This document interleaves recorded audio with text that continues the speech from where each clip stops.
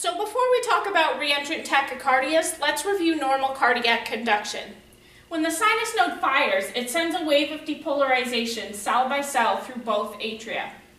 However, it doesn't depolarize the ventricles because the tissue that separates the atria and the ventricles is non-conductive. When the impulse reaches the AV node, it's paused, and it's then sent through the bundle of His and the Purkinje fibers, which cause the ventricles to contract very quickly, and then the impulse is terminated. However, some people have what's called an accessory pathway.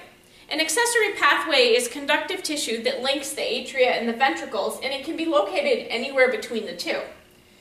It's not always conducting, but when it is, it can send impulses directly from the atria to the ventricles or directly from the ventricles to the atria, which can create what's called a circus reentry tachycardia. There are two types of circus reentry tachycardia, but for today we're just going to talk about AVRT.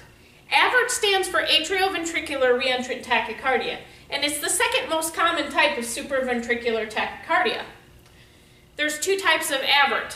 Orthodromic, meaning that the impulse travels in the same direction as normal conduction, and antidromic, which means it travels in the opposite direction of normal conduction.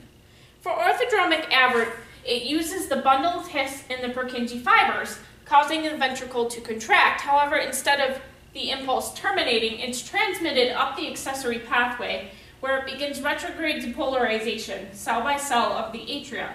When the impulse hits the AV node, the cycle starts all over again. Because of the fact that orthodromic AVRT uses the bundle of His and the Purkinje fibers, it's a narrow complex tachycardia, and because of how regular it is, it's often confused with sinus tachycardia.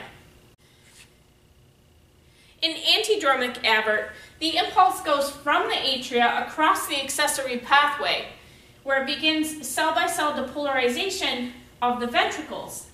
The impulse then goes up the bundle of His to the AV node, where it begins a cell-by-cell depolarization of the atria.